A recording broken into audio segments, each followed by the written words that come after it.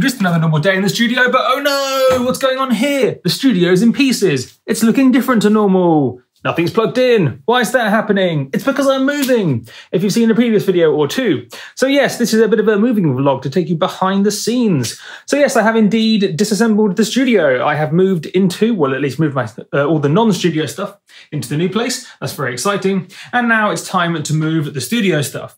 Because basically, if you're moving all your normal household stuff, there's not too many fragile things. I mean, you've got plates and stuff, but uh, and glasses, but that's okay. But nothing super critical, such as all your sound cards and keyboards and, and, and mic preamps and stuff, all of which, and cameras and computers and speakers, all of which you need to be much more careful with. I mean, I have a friend, for example, that when carrying his brand new speakers to his new studio, he sort of poked in that little little hole thing at the top of the tweeter and, and it was broken forever. I mean, he still used it, but it was very frustrating, apparently. Or I, I imagine it was. He, he said it was frustrating, and I would agree. I've run out of breath. I'm going to try and do this in one take just to mix things up, keep things original and fresh in the multiplier studio. So yes, everything is disassembled. I have taken, well, the rest of the house is basically empty, apart from a handful of things which I am currently loading the car with. As you might be able to see down there, you can see I've got uh, some wood, uh, my ski rack, uh, maybe over here you can see. Yes, you can kind of see what a clothes horse, and then to the left of that, you can see I've got my ski rack. So bits and bobs. I also, the cutlery, I forgot to bring the cutlery, which was a a bit of a nightmare. But anyway, the cutlery's in the car. Don't worry, everybody. The cutlery is in the car. So it's, it's time to, to do the studio stuff now. So my plan is, well, there's a 0% chance this will fit in the car in two trips. So I'm going to take three. Uh, so I'm going to split it up into non-fragile and fragile.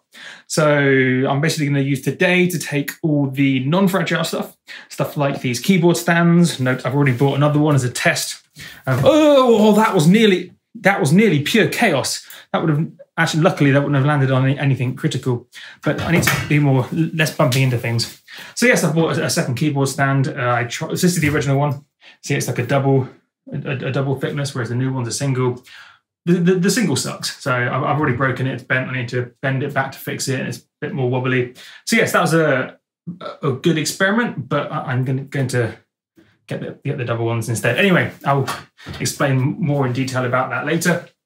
So yes, I need to take all the non-fragile stuff today, or at least as much that fits in the car. So stuff like keyboard stands, uh, probably some of the uh, bass traps, sound acoustic treatment. Do you see my video on that? If you're wondering, like I think I called, I called a video something like five acoustic treatment myths or misconceptions, or three, some number of audio acoustic words, that if you call audio acoustic treatment myths or something like that. Uh, yeah, where I explain all the, the, misconceptions about that stuff. Anyway, so yes, that'll go in the card. That's mediumly fragile, but it's the sort of thing. Uh, once I have a bed of non-fragile stuff, um, like some older, say I don't know, some older, less critical stuff, I completely lost my train of thought there. Anyway, that, that was just you experiencing a multiplier loss of train of thought. Anyway, yes, so once I get the non-fragile, maybe I edited that out, who knows? So once I have stuff like the keyboard stands and a few boxes, uh, stuff like, so I've got uh, various, like, so this would be a good example. The headphones I've got back in the original box, so that's not actually that fragile. I mean, I wouldn't want to throw it down the stairs, but I mean, you can stick it in the car, put stuff on top of it, not a big deal. And yes, uh, a few, a few things are boxed up like that. A few things aren't boxed up. I've got, um, what if I can even, it's got hard drives down there, for, for example. Uh, I think I can't really see very easily. Here's an example down here. So if I open that up, you can see cameras. I need, need to use some bubble wrap or some other thing for bubble wrap down there. Look at this. onto it.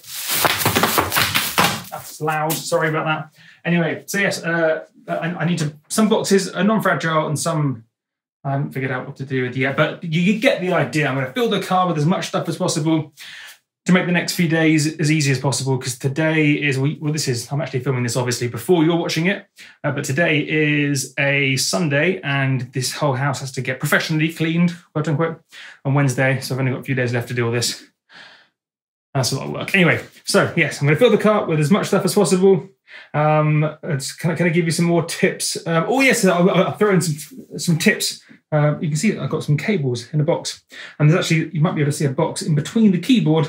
Now this is Rogue, but I'm going to try zooming in mid-recording. There you go, that worked. I'm using my telephone today. You can see a box behind the keyboard, and that's uh, another box of cables. So because I have so many cables, I mean there's some cables down there, just just a few cables. Um, some cables there, some cables over there, and then behind those two, uh, behind the keyboard and the acoustic treatment, are two cardboard boxes uh, full of cables. So many, many cables, and there's some more cables down there. So I've tried to categorize them into power supplies, and I've also categorized them into USB cables. I think power supplies are behind the keyboard, USB cables over there maybe. And then I've got fragile cables. So these are the most fragile ones, such as XLR, basically microphone cables, anything that's just a bit more fragile, slash probably already broken, given my luck. Uh, not the digital cables aren't fragile, but they're just less fragile than analog. Like digital cables tend to be, it's quite obvious when a digital cable breaks. Whereas if you break the shielding on an analog cable, sometimes it'll work, sometimes it'll break depending on where it's all bent up uh, depending on how the cable's lying, and it's just it's a giant headache. It causes intermittent problems, and it's the bane of my entire job. So there's also cables over there, which are a category that I can't remember, but that's for whatever reason these cables I've categorized as different to those. Um, maybe oh there you go, soundbar for my TV, which is uh, I, did actually transport the TV on moving day. That was the only fragile thing. So I think maybe one of these is for the TV. Anyway, you get the idea. Just try and categorize into fragile and like split up your power cables and also write on them. So you can see down here, for example, I've written like 500 gig SSD on that cable and I've marked up any cable that is remotely similar to any other cable, uh, just using sticky labels, which makes your life a million times easier. As I said in another video, it took me five to six hours or so uh, to organize my cables last time and it was a giant headache. Um, so yes, that is the state of, oh, you see cardboard cardum, cardboard Adam, cardboard multiplier over there, multiplier number two. He's folded at the moment. Uh, he's not missing a head, it's just folded away. So I need to transport that as well. Thought that was best not to show everyone on moving day. Too awkward to explain. Anyway, so, um, oh yeah, my desk as well. Got to disassemble that using screws or just a screwdriver. There's no screws, just little twisty dudes and bubble wrap. That's exciting. And the sun's just come out. Brilliant. So yes, my name is Multiplier. I will probably do either another, this will be a video by itself, I reckon. And then what I'll probably do is, yeah, I'll, I'll do another video. Um, you'll see this probably two days after. The next uh, words are difficult, thinking out loud. What's going on? Who knows? I might have done this entire video in one go. If I left in the bit about me just losing my train of thought, as you do. So, yes, there will be, this video probably will go live on Thursday. So I'll probably upload uh, part two on Saturday. Yes, that's two days later.